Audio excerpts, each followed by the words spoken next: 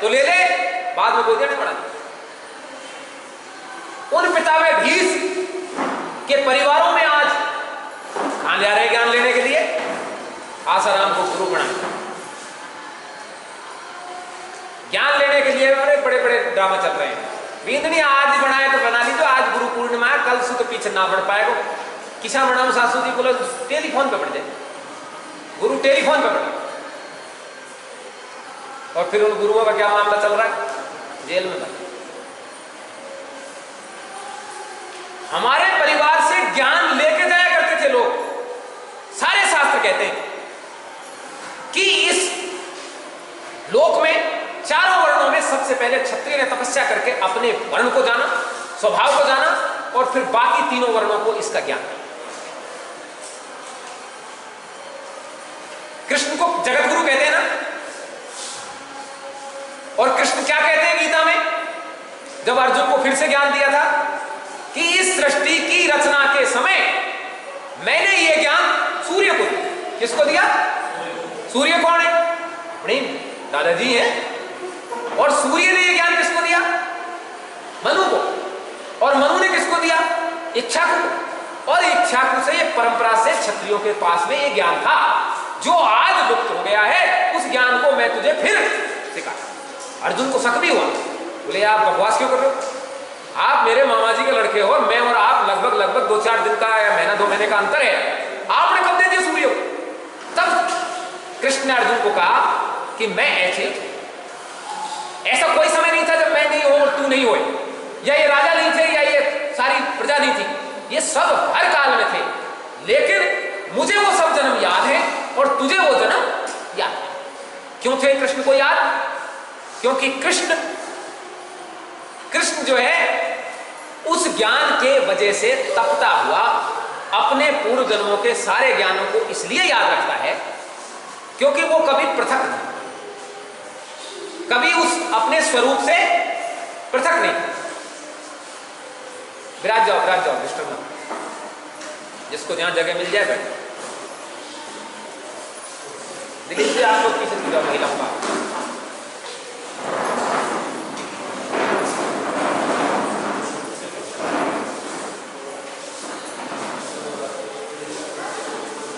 सृष्टि की रचना के समय कृष्ण ने इसलिए तो सूर्य को ज्ञान दिया था क्योंकि कृष्ण ब्रह्म है। कृष्ण ईश्वर है। कृष्ण भगवान राठौर साहब, मिला लेंगे हाथ सब यही रहेंगे, बिना उसके नहीं जाएँगे। आपसे हाथ मिला दंड बाद में मिलेगा आपके जो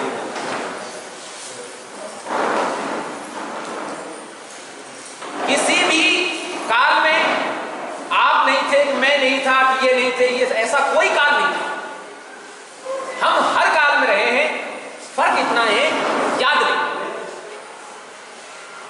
याद तो कई लोगों को कल का भी नहीं है जो पिछले जन्मों का क्या याद। एक बार हमसे एक व्यक्ति बोला, बोले, साहब, आपको पिछले जन्म याद है? मैंने कहा, तुमको परसों का याद है? बोले, याद करने से याद हो जाएगा। तो मैंने कहा, हमको भी पिछला जन्म याद करने से याद हो जाएगा। बोले, नहीं, मेरे को परसों का याद है। तो मैंने कहा, मेरे को पिछला जन्म याद है। वो बोला, आप बताइए कि पिछले जन्म में आप क्या थे? मैंने कहा, आप बताइए, परसों आपने खाना खाते समय किधर मुँह किया? ये कोई बात हुई? मैंने कहा, ये कोई बात हुई कि आप बता रहे हो आप क्या तो ये जैसा प्रश्न, वैसा ही उत्तर। हर काल में ऐसा काल नहीं, ऐसा कोई समय ही नहीं है जब प्राण जो है समाप्त होगा प्राण कभी समाप्त नहीं रूप बदल अर्जुन को जब यह ज्ञान कृष्ण ने दिया और यह बात समझाई तो कृष्ण की इस बात को अर्जुन तो समझ गए। लेकिन कृष्ण और अर्जुन ने वो आपस का वार्तालाप केवल उस महाभारत को जीतने के लिए नहीं किया बल्कि रोज दिन में हर क्षण जो हमारे अंदर एक बंद चलता है, जो हमारे अंदर एक लड़ाई चलती है, उस लड़ाई को जीतने के लिए। न्याय और अन्याय, धर्म और अधर्म सत्य और असत्य की लड़ाई प्रत्येक क्षण, प्रत्येक मस्तिष्क में चलती है। उस लड़ाई को जीतने के लिए कृष्ण ने अर्जुन को वो मार्ग बताया था और उसी मार्ग पर हर क्षत्रिय को चलना कृष्ण ने अर्जुन से यह क्यों नहीं कहा कि सृष्टि के आरंभ में मैंने ये ज्ञान ब्रह्मा जी को दिया, ब्रह्मा जी ने पंडा जी, परशुराम जी को दिया, परशुराम जी ने रावण को दिया और रावण से फिर ये ब्राह्मणों के पास आया आप इनके पास जाके ये ज्ञान लिया है। कृष्ण ने ये क्यों नहीं कहा? ये आजकल अपन ले रहे हैं ना पंडों से मंदिर में जाके ज्ञान कृष्ण को भी ये कहना चाहिए था कि मैंने ऐसे ऐसे इनको दे नहीं। हमारा धर्म, हमारा स्वभाव और हमारा ज्ञान बिल्कुल वो हमारे लिए। माता की भाषा को बच्चा समझता है और बालक की भाषा को माता समझता है। जब वो बहुत छोटा बच्चा होता है, तब उसकी माँ को पता होता है कि अभी इसको पेशाब जाना है, कभी इसको लेटने लगी है, कभी इसको भूख लगी और माँ को देख लेता है, बच्चा अब इसके मन में नहीं है दूध पिलाने की तो अपने आप साइड में बैठ के सो माता और पुत्र की इस भाषा को कोई तीसरा समझ सकता है क्या? ठीक इसी तरीके से छात्र धर्म हमारी माता है। गीता हमारी माता है। और हम सब उसके बच्चे क्षत्रिय की भाषा है वो। क्षत्रिय के बारे में बात है, और क्षत्रिय ने कही और क्षत्रिय ने सुनी। और क्षत्रिय नहीं उस पर हम कहाँ पढ़ने जा रहे हैं आज तो कहाँ सुनने जा रहे हैं गीता? हम उनके पास जा रहे हैं गीता को सुनने के लिए, जिनको गीता का कोई ज्ञान ही नहीं। अभी गीता प्रेस गौरवपुर नाम से एक संस्था है। वहाँ से मोटी मोटी किताबें निकलती हैं और कहते हैं साहब धर्म का बहुत बड़ा केंद्र है। ठीक अच्छी बात। पर उस गीता को आप पढ़ना और फिर मुझे बताना कृष्ण से कृष्ण अर्जुन से क्या कहा है। कुछ पता नहीं चलेगा।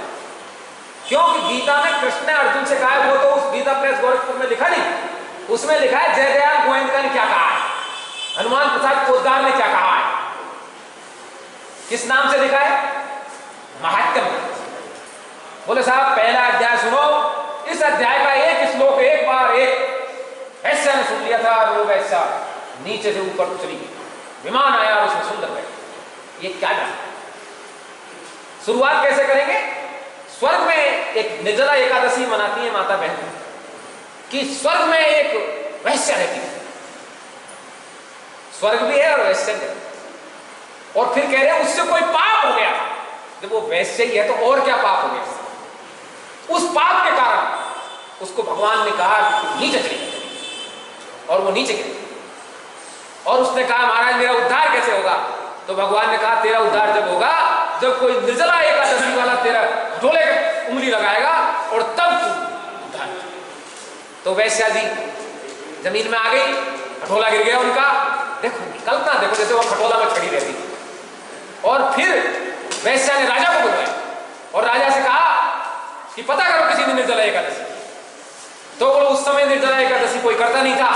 राजा ने घर घर सूचना भिजवाई और घर घर सूचना से पता लगा, कोई भूखा है क्या? तो वहाँ कोई भूखा कौन मिला? एक बंगी और बंगन। मैत्र और मैत्राणी में झगड़ा हो गया था बेचारा तीन दिन से उनको कोई खाना नहीं अब झगड़ा हुआ उनके पास था नहीं खाने के लिए। तो सूचना दी, बोल, महाराज जान कर तो नहीं किया। लेकिन अपने मैत्र और मैत्राणी है, एक जिन्होंने दो दिन से खाना नहीं खाया। कैसा जला कुछ नहीं किया, उन्होंने झगड़ा तो राजा ने वैश्या से निवेदन किया। देखो इनकी लेखनी देखो कि राजा ने वैश्या से निवेदन किया। क्या निवेदन किया?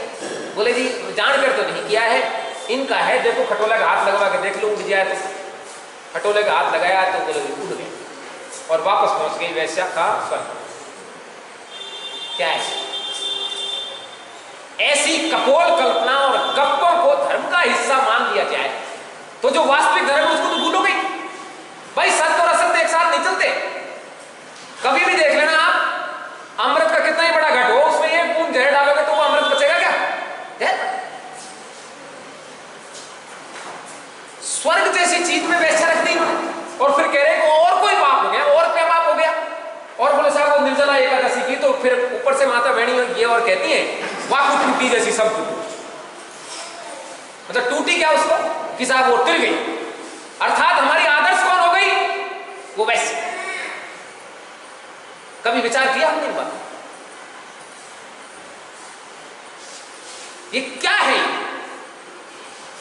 ये है आपके धर्म की जड़ खोदने का आपके प्रत्येक देवी देवता आपके प्रत्येक पूर्वज का जमकर चरित्र हनन किया एक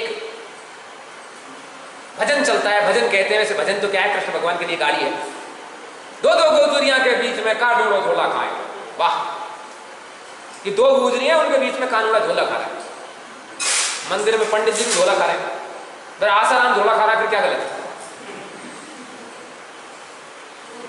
कृष्ण साक्षात पर ब्रह्म और ईश्वर थे राम के पुनर्वतार क्या कोई बुराई कृष्ण में हो सकती है कृष्ण कहते हैं कि मुझ जैसा योगेश्वर नहीं अर्जुन मतलब कृष्ण योगेश्वर थे योगेश्वर किसको कहते हैं? योग कहते हैं जिसकी प्राण और आत्मा मिल गई। ऐसे कृष्ण का चरित्र हनन करते समय, इनका न हाथ कांपा, न इनकी कलम।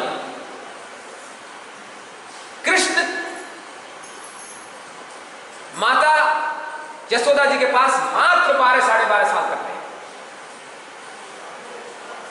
और इसी उम्र में वो मथुरा चले गए, कंस को मार दिया और पता लग गया कि ये तो महाराज सूरसेन के पुत्र हैं और देव की वसुदेव के पुत्र हैं, राजकुमार है तो इनकी तो शिक्षा दीक्षा होनी चाहिए।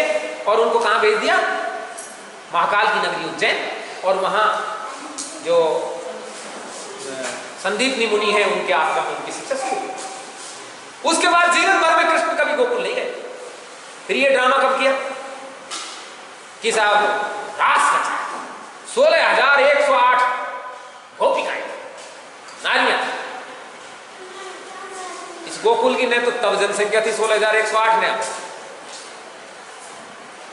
ऐसी कपोल कल्पनाओं के कारण पूरा के पूरा हमारे ईश्वर, देवता, आराध्य देव, उनका चरित्र हनन करने का कोई साजिश के तहत किए गए।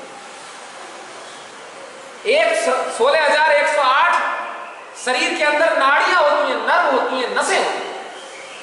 हमारे इस ब्रज भाषा में नाड़ी नहीं बोलते, मथुरा साइड में नाड़ी को नारी बोलते और इन नाड़ियों के स्वामी थे कौन? वासुदेव कृष्ण। सब शास्त्रों में लिखा है कि कृष्ण ऐसे उनका मस्तिष्क शत प्रतिशत चलता और शत प्रतिशत चलने का मतलब यह होता है, एक भी समय का अंश ऐसा नहीं है जब उसे अपनी कोई चीज़ भूल गया वो सब याद अपने पूर्ण स्वरूप के साथ। इसलिए उनको सोलह कलाओं से युक्त और चौदह विद्याओं का निधान कर सोलह हज़ार एक सौ आठ नाड़ियों पर उनका स्वामित्व था, हमारा कम पर हमारे पता नहीं चलता बहुत सारे सेंसेज हमारे काम नहीं करते उन सोलह हज़ार एक सौ आठ नाड़ियों को पंडित जी ने नारी बना दिया। नारी से स्त्री बना दिया। और फिर बोले साहब, वो तो इतनी पत्नियाँ थी। बारह तेरह वर्ष कृष्ण वहाँ चले गए और बाद में लौटे नहीं। अर्थात बारह तेरह साल के बच्चे के लिए माताएँ और बहन माता बहन जैसी होती बड़ी बड़ी कहानी है इनके पीछे। जब और रविवारों में आगे चलेंगे, तब इस पर विस्तार से बताएँगे। ऐसी स्थिति है कि श्री राम के चरित्र को नहीं छोड़ा। और आप बोलोगे, नहीं साहब, राम के चरित्र को कब नुकसान पहुँचाया वो? कृष्ण के तो देख लिया आपने। कृष्ण ऐसा लगता है जैसे कोई ईश्वर नहीं, कोई आवारा छोकरा। जो किसी का कपड़ा उठा ले जाए, कभी क्या ड्रामा कर जाए कि चोरी, बेईमानी, उस्तादी, सब कुछ सीखी ऐसा कुछ नहीं कृष्ण एक संपूर्ण व्यक्तित्व के महापुरुष थे और इसीलिए उनको सोलह कला और चौदह विद्यानों से, विद्याओं से युक्त बोलते हैं। राम के चरित्र में देखिए आप। ये कहते हैं कि साहब, जब महाराज दशरथ जी के पास में महर्षि विश्वामित्र आए तो उन्होंने कहा कि मुझे यज्ञ करना है और यज्ञ की रक्षा के लिए राम लक्ष्मण चाहिए। पहले तो ये बताओ कि विश्वामित्र जी यज्ञ करें और उन पर खुद पर रक्षा नहीं हो, ये संभव है और फिर यदि उन पर रक्षा नहीं होती थी तो राम और लक्ष्मण एक क्षण के लिए भी उनको छोड़ने नहीं चाहिए थे। बाद में भी क्यों छोड़े? भाई, फिर भी तो हवन करना है ना। ऐसा नहीं। राम और लक्ष्मण को आगे चल के रावण जैसे नीच आतताई और दैत्यों से युद्ध लड़ना है, उनको उसी अनुसार अस्त्र, शस्त्र और साधन चाहिए। और वो किसके पास थे? विश्वामित्र। उनको राम को देने के लिए, लक्ष्मण को देने के लिए लाना ज़रूरी था, क्योंकि उनकी शस्त्र शिक्षा पूरी नहीं हुई। तब विश्वामित्र जी गए और महाराज दशरथ से यह बात कही। और आप कहते हैं, दशरथ जी गिर पड़े, कूद पड़े, रोने लगे, कुछ नहीं। क्यों रोने लगे? बोले, दशरथ जी बोले, साहब, मैं ही चलता हूँ धनुष लेके। वाह! मैं चलता हूँ वहाँ कोई मतलब लड़ाई हो रही? और लड़ाई हो रही है तो आते ही लड़ने चाहिए थे।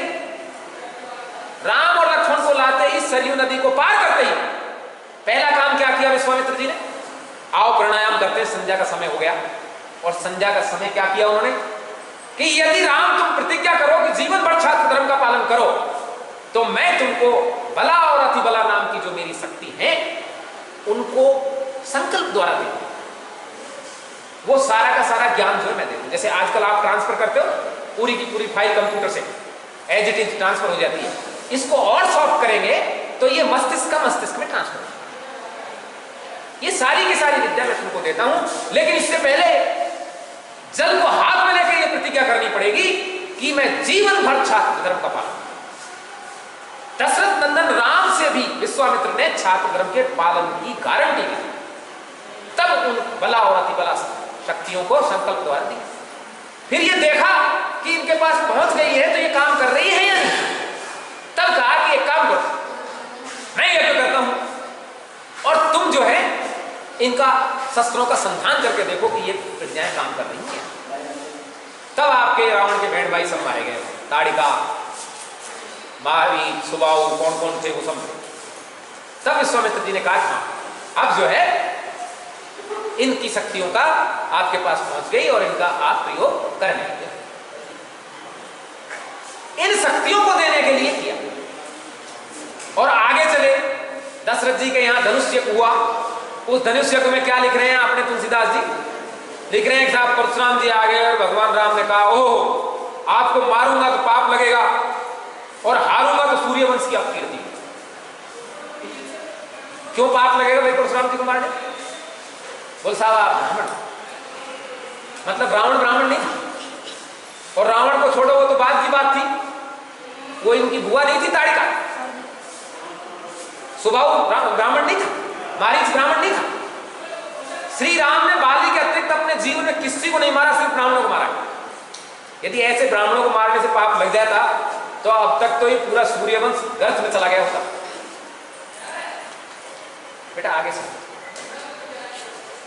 जो गलती करेगा, वो पिटेगा और जो अच्छा काम करेगा, उसका पूछता ये क्या है? ये नैसर्गिक धर्म इसको क्या कहते हैं? न्याय। ऐसा नहीं है कि गलत करने वाला साहब, मेरा पुत्र है तो वो क्षम है, और आपका पुत्र है तो उसको दंड है। चंद्रवंश के सम्राट पांडु ने तो इतना ज़बरदस्त उदाहरण पेश किया। न्यायालय में न्यायाधीश खुद, वादी खुद, प्रतिवादी खुद, और सूचना देने वाला खुद, और फिर भी न्याय कर दिया। वो कंदम ऋषि क्या ड्रामा कर रहा था वहाँ जंगल में? और जब कोई गलती नहीं पांडु। शब्द बाण चलाया, वो शेर की आवाज़ में बोल रहा था, चल गया, मर गया, मर जाने के बाद जाता जाता कह गया अरे तू भी जिस दिन ऐसा काम करेगा, तू भी मर गया। ओ, कोई बात हमने सोचा बहुत बड़ा ज्ञानवान था, साहब श्राप दे गया अरे जो श्राप देने वाले नहीं, ज्ञानवान श्यानवान नहीं होते होते पागल। मान लीजिए किसी के पास में मोबाइल में टॉक टाइम चार सौ रुपए का है, और वो हमारे गणपत सिंह जी राठौर साहब की तरह कह कह अरे, लो, अभी लगाओ प्रधानमंत्री को। और लगा के वह आधा घंटा धर दे। विदेश में फ़ोन लगाकर, और फिर वो टॉक टाइम खत्म हो गया तो ये समझदार हुए, बावड़े हुए बावड़े तपस्या से शक्ति तो आती है लेकिन इसको दुरुपयोग कर लो श्राप देके आप वरदान देके। तो जितने भी श्राप देने वाले हैं, ये हैं अधकचरा ज्ञान। ऐसा नहीं है कि ज्ञानियों की कमी हो, तपस्वियों की कमी हो क्षत्रिय समाज में, लेकिन श्राप नहीं देते। जब माता सीता श्रीलंका में थी, लंका में थी तो हनुमान जी गए। और हनुमान जी ने देखा कि माता बहुत दुखी। बोल, माता जी, आप एक काम करो मेरी पीठ पे बैठो, मैं आज ले तो सीता जी ने कहा बावड़े हो गए हनुमान जी आप क्या चाह रहे हो? मतलब मैं यहाँ से निकल भागू, मेरे पास कोई इलाज नहीं है। अरे, रावण की औकात क्या है? मैं चाहूँ एक क्षण में भस्म कर दूँ इसको, लेकिन उससे मेरी तपस्या कर राम अजय और राम की अपकीर्ति होगी कि राम पे अपनी पत्नी नहीं बची, साहब। सीता जी खुद आई। राम को आने दो और धनुष्माण से इनको मारने दो, जिससे ना तो उनका तपस्या घटेगी, बल्कि धनुष्माण से लड़ने पर क्या होता है? आदमी की कीर्ति बढ़ती शरीर से लड़ने से। और वरदान और श्राप देने से अपकीर्ति होती है। तपस्या घटती चली जाती है फिर कुछ बचता नहीं। सीता जी ने कहा कि मैं चाहूँ तो क्षण में पूरी लंका को भस्म कर दू। लेकिन ये काम राम का है, आप जाके कहते हैं ना को आ गया एक दिन। रावण गुस्सा खा के चल भी दिया था। तलवार लेके कि आज इसको समाप्त भी कर देता हूँ, थोड़ा झंझट ही खत्म हो जाए तब क्या किया सीता जी तरण ओट, एक तिनके की ओट करके। बोलो, रावण, इससे आगे मत बढ़ जाए नहीं, चलकर राख हो जाए। और वास्तव में हो जाए। नहीं तो आप क्या समझ रहे सीता जी मज़ाक कर रही थी कि एक तिनके को लेके ऐसे कर दिया। यदि रावण एक क्षण भी आगे बढ़ता, उसी समय समाप्त इतनी महान तपस्वी थी माता सीता। लेकिन क्षत्रियों और छत्राणियों ने कभी भी साफ़ नहीं केवल दो ने साफ़ एक खुद वासुदेव कृष्ण ने और एक माता गांधा इसके अलावा किसी क्षत्रिय प्राणी वासुदेव की तो बात छोड़िए, उनके पास तो कोई ये नहीं, कम पड़ जाएगी, तपस्या की शक्ति वो तो ब्रह्म है। लेकिन माता गांधारी ने छोड़ा तो कहीं ना कहीं तो नुकसान हो। कहने का मतलब सिर्फ़ ये है कि इस समाज में इतने बड़े बड़े ऊँचे और विद्वान थे, महान ज्ञानी और तपस्वी थे, वहाँ आज क्या दशा? और त्रेता द्वापर की तो बात छोड़िया। इस घोर कलयुग में। कब आया था वो? गजनबी शायद सात सौ बारह में आया और ये आपका मोहम्मद गौरी आया। ग्यारह सौ बानवे में उसने सम्राट को हरा दिया। ग्यारह सौ बानवे से लेकर। और महाराज मान सिंह कब हुए? शायद पंद्रह सौ के आसपास। मतलब साढ़े तीन सौ साल तक हम लोगों ने तोप के आगे तलवार चला लाठी चला तीर चला तोपों के आगे सौर्य की इतनी ज़बरदस्त ज्वाला उठी, लोग चले और तोप के आगे अड़ गए कि चला तेरी तोप में कितनी दमे कितनों को मारेगी। एक लाख की फौज लेके आ रहा है एक मुसलमान बादशाह और पाँच से बीस राजपूत जा रहे हैं। भिड़ गए?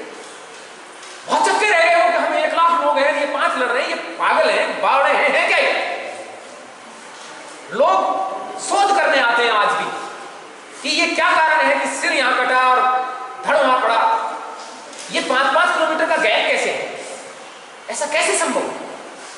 शौर्य की इतनी ज़बरदस्त उदाहरण तो इस मध्यकाल के, में दिया है, आधुनिक काल में दिया है। भीष्म को किसी ने नहीं देखा। बाण बाण लगते कि नहीं लगते, हम में से कोई नहीं था। है, थे तो याद नहीं है। लेकिन सिर कटने के बाद पाँच पाँच किलोमीटर तक लड़ने वालों ने देखा और लिखा। पूरा डिंगल साहित्य जो है, राजस्थानी साहित्य में सब में लिखा हुआ है कि कहाँ सिर पड़ा कहाँ धड़ पड़ा। इतनी ज़्यादा कल्पना नहीं कर सकता और इतनी कल्पना कर सकता है थोड़ी बहुत उन मुसलमानों की क्यों नहीं की कल्पना, उनका भी बता देता है कि एक का तो यहाँ गिरा एक का वहाँ मिला। उनके भी तो थे अबुल फजल और अलबेरून फलन क्या क्या उनके ड्रामा थे? जब किया जाता है तब लिखा जाता है। ऐसे ऐसे एग्ज़ाम्पल दिए लोगों ने कि सामने आए, तोप लेके, हाथ में हमारे लाठी तो लड़ गए सामने आए, तोप लेके, हाथ में भाला तो लड़ गए और लड़े ही लड़े नहीं, अधिकांश युद्ध तो जीत लिए। गोविंद भाई इधर आ जाओ। जब नीचे ही बैठ रहे हो नज़दीक तो बैठ ऐसे ऐसे युद्ध लड़े जिनमें कोई जीत की संभावना नहीं हार निश्चित जब एक लाख आदमी पच्चीस लड़ेंगे, बीस लड़ेंगे तो हार निश्चित है ना? लेकिन लड़ाई से मना नहीं, मुँह नहीं मोड़ा। शौर्य का अनुपम उदाहरण हम लोगों ने दिया। ब्राह्मणों ने खूब प्रयास किया, ढाई हज़ार साल तक, महाभारत से लेकर गौतम बुद्ध और महावीर स्वामी तक। नहीं मिटा।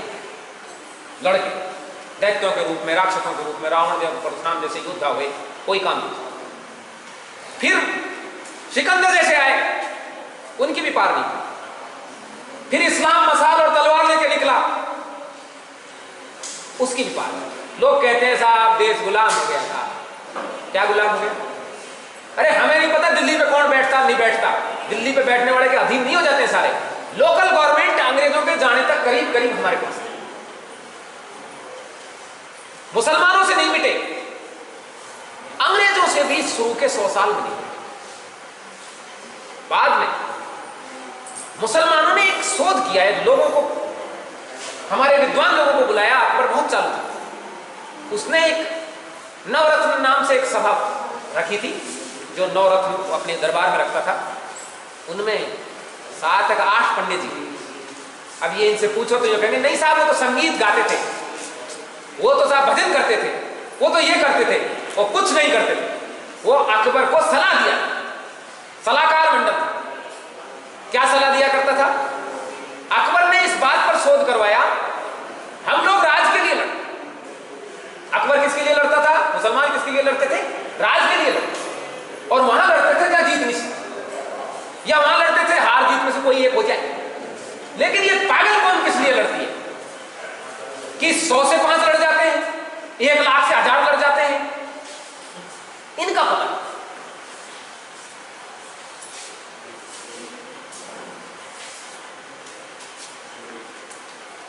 इनकी, इनका पता बोले जी, ठीक है साहब, पता करते हैं। तो इनके राजपुरोहितों को बुलाया राजपुरोहितों को बुलाया गया। उन्होंने बोला, भाई, देखो, ऐसा है। इसमें दिमाग लगाने की ज़रूरत नहीं है। ये लोग ने जीत के लिए लड़ते हैं, न राज के लिए लड़ते हैं, ये लड़ते हैं धर्म के लिए। क्योंकि इनका धर्म है। धर्म के लिए लड़ते हैं, इसलिए जीत और हार से कोई काम नहीं होगा तब अकबर ने माथा ठोका कि बोले, फिर इसका कोई ये मेरे से नहीं आ सकती यदि ये केवल धर्म के लिए लड़ते तब जो नौरत्न थे ना, ये खड़े हुए, बोले, साहब, इसका समस्या क्या है? बोले, क्यों? बोले, हम धर्म को ही दूषित कर देते ना। हम धर्म को ही दूषित कर देते फिर काय चल देंगे वहाँ से हमारे धर्म को दूषित करने की कारण क्या धर्म बना दिया हमारा? बोले, जो इनकी, हमारी ताकत क्या थी? आप पुराने किले में जाइए, महलों में जाइए, हर जगह कुंदे भी है। स्थानीय भूमिया है। हमारे कुल पुरुष पूर्व पुरुषों की आराधना है। धूप बत्ती है। ऐसा लगता है जैसे सजीव होकर हमको आदेश दे रहे हैं। इनको सबको बंद और इनको नए नए देवी देवता और ऐसे देवी देवता दो जिनके जीव को स्वाद बढ़िया हो। खुद भी खाते हैं और इनको भी खिलाते खुद भी पीते हैं और इनको। दो तरह के कर्म होते हैं, एक तो नित्य कर्म और एक नैमित्तिक कर्म। नित्य कर्म हुआ है तो आज नहीं करोगे, आज भी मारे जाओगे। मान लीजिए आज आप सुबह लेट नहीं जाओगे, दिन भर बदोगे खुद भी सड़ोगे, दूसरे को भी सड़ोगे नहाओगे नहीं, दिन भर परेशान खाओगे नहीं, भूखे मरो। ये क्या कर्म है? नित्य कर्म एक है नैमित्तिक कर्म। नैमित्तिक कर्म क्या होता है? उद्देश्य पर धर्म की नहीं और शास्त्र क्या कहते हैं? नैमित्तिक कर्म का कोई दोष नहीं लगता। नैमित्तिक कर्म क्या है? मान लीजिए, एक सेना अधिकारी को आदेश मिले कि सामने वाले में गोली मार दो और उसने मार दी। सजा किसको होगी? सैनिक को या सेना अधिकारी सेना अधिकारी आदेश देने। अपन रोज देखते हैं, गोली चलवा दी। हमारे जो भाई कार सेवक थे अयोध्या में गए थे, जिस अफसर ने गोली चलाई, उसका कोई नाम जानता है क्या? और न उसका कोई दोस्त? जिसने चलवाई, जो अभी फिर है सरकार जिनने चलवाई, उनको आज भी गाड़ी पड़ रही है, आगे भी पड़ेंगे, पिटेंगे। तो नैमित्तिक कर्म का दोष नहीं होता। ये बात सब ठाकर जानते तो पंडा जी ने बोला, बोले, इनका नैमित्तिक कर्म को ही कर दो भ्रष्ट और नैमित्तिक कर्म को भ्रष्ट करने के लिए ऐसा है कि ठाकर साहब दारू पियो, बोले, नहीं, दारू कैसे पिए? दारू तो हम नहीं पीते। बोले, नहीं, आप देवी जी को बुलाओ ना। फिर प्रसाद लो, नैमित्तिक कर्म का कोई दोष नहीं। कर? बकरा खाओ, ठाकुर साहब बोले, नहीं, बकरा नहीं खाते हो। बोले जी देवी को चढ़ाया है। नैमित्तिक कर्म, इसका तो कोई दोष नहीं तो बोले, नहीं होता तो लाओ और फिर पड़ गई साठ फिर तो स्वाद आ गया ये नैमित्तिक कर्म के बहाने। अब आप ये देखो, आपने दारू पी ली, मांस अब आप ठाकुर जी भोग लगा सकते हो क्या? बच्ची, कोई चांस गणेश जी का मंत्र बोल सकते हो क्या? हनुमान जी की पूजा कर सकते हो क्या?